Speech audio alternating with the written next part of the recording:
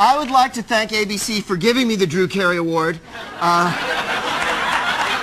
it only it only goes to one lucky guy with glasses a year, and gosh darn it, I'm tonight I'm the king of the general area.